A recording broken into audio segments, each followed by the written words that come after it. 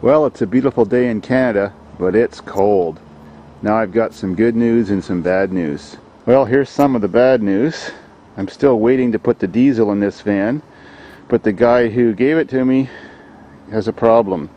He got it from somebody else, never changed it into his name, and the vehicle registration, he doesn't have it. We're trying to get a hold of the guy he got it from, and we just are having a big problem get a holding of getting a hold of this guy. So maybe I'll have to get another van. I mean, nobody's claiming this van isn't mine. We just can't get a hold of the registration for it. Next, the worst news. The farmers have taken the crops off my farm. The beans are gone. But right behind the combine is going the planter. They're planting, they're planting winter wheat right now. Well, winter wheat, you plant it in the fall. It grows about an inch tall and then winter comes, it stops, and it grows well in the spring. That's bad news for joyriding. All our great plans of field races and trying out our new cars and power sliding and drifting that turbo Volvo are gone for this year. Ha ha ha! Wah.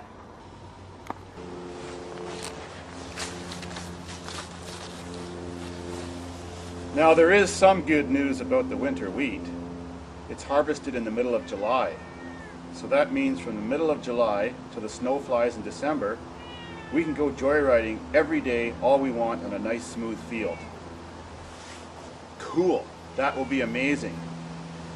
Well, nothing for this year. No hope. That sucks. Great kitty.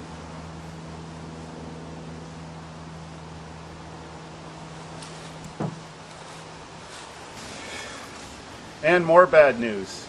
Wolf has still not been seen now and it's been almost two weeks. Things are a little different at the farm next door. There's lots of people over there harvesting the corn and stuff like that, but not the same cars parked in the driveway. So I'm wondering if the owner who's my age disappeared or moved someplace else or moved in with a girlfriend and took his dog with him or but anyways, either Wolf's dead or he's unha or he's unhappy someplace else with no cars to chase who knows? I'll give you an update someday if I figure out what's happening. So, a lot of people are curious now about my red Mercedes since I'm getting it going for the first time in seven years. Well, this was that car in August of 2001 with my son in the driver's seat. Well, it's not a kit and it's not a real one. It's a handmade car. It's actually a copy of a kit. This is one of the early construction pictures in my backyard. I painted every piece, one piece at a time, polished it, and then bolted them together. And that's me when I was 23, when I finished this car. Still in my backyard, my little garage in the background. That garage. The way it worked out is, I met a person who was hard up for money, who actually bought a kit of one of these cars from California or Florida or wherever they came from. He made molds of the fenders and some of the parts of that kit, and he tried to start his own business to make and sell these cars in Canada. Well, anyways, he ran out of talent and ran out of money and gave up on the project and asked me if I would like to buy what he had started. And he knew I could do something like that even though I was only 22 and had never made a car before. So, working in that garage, summer and winter, I made that.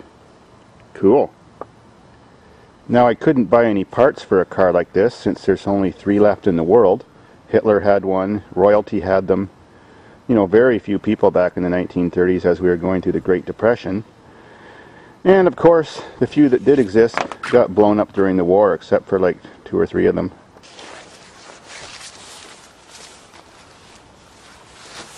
So since I had some photographs of what that car looked like completed, I just made parts, being in the machinist type of person I am and good with working with metal and bodies and stuff, just made the parts from scratch. Never even tried to look for anything or buy anything. There was no eBay back then or internet so there wasn't a chance. It was actually quicker just to make anything than it was to try to find such a rare part. Well, it all worked out. Cost a lot of money. A couple years later, had her done. Then I had my family, met my wife right after actually I built it. Got too involved with all that stuff, and then I got my farm. So most of the time I never even drove it. Well, then I parked it in my building, you know, in the fall of 2001, put it at the back of that room, thinking, oh, no problem, I'll get it out next spring. It's a good place to store it. Luckily, it wasn't there previous two years before when my farm burnt down. It was in another place. But then someone gave me 400 free factory defect air conditioners in November. I had no place to put them. Didn't want to leave them outside. They were, you know, they were new. So I blocked them all in that room and sealed up my Mercedes ever since. We've had a lot of cold summers since then, so I haven't been able to sell them. Well, anyway, so there it sat. So that's the story.